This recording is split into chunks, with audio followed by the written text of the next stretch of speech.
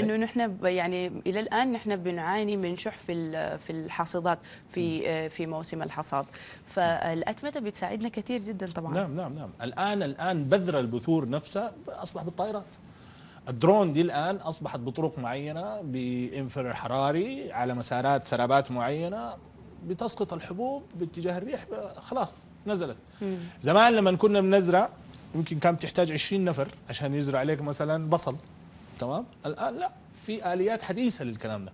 بيسوق شخص واحد وموجود زراعات بطرق معينة وتعاد تصميمها وأنا متأكد إنه ال- ال- حوا السودانية ولاده. يعني إحنا أشياء زي دي ان جات عندنا في السودان. الشباب السوداني نفسه عنده المقدرة على الابتكار وتعديل هذه المعدات بما يتلائم بالفعل. مع احتياجاته وطلباته المحلية. فدي كلها أشياء عندنا.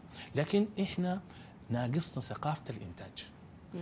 غير ثقافتك أفكارك دي كلها حتتغير حياتك حتمشي لقدام.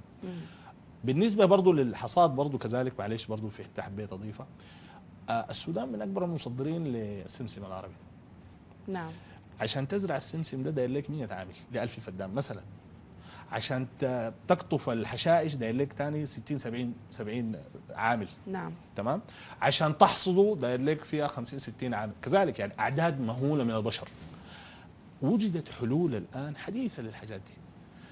يوجد ما, ما ياخذ يعني ال ال ال ال ال الدراسات أو ال- الزراعات دي فيها ما يقطف شيء ويترك شيء بالذكاء. نعم. نعم. زي زي زي ما بي- بيسموها يعني ذكاء اصطناعي موجود بس برضه بيساعد البشر. طبعا. يعني انت لو عندك في خدمة 50 نفر. موجود نعم. حصاد زي دي انت بتستاهل خمسة انفار أو ستة انفار نعم. فدي كلها حاجات بتساعد المزارعين. لكن إحنا برضه بنستصحب فكرة ثانية المزارع ده قد ما يكون عنده الإمكانيات إنه يجيب تكلفتها عالية.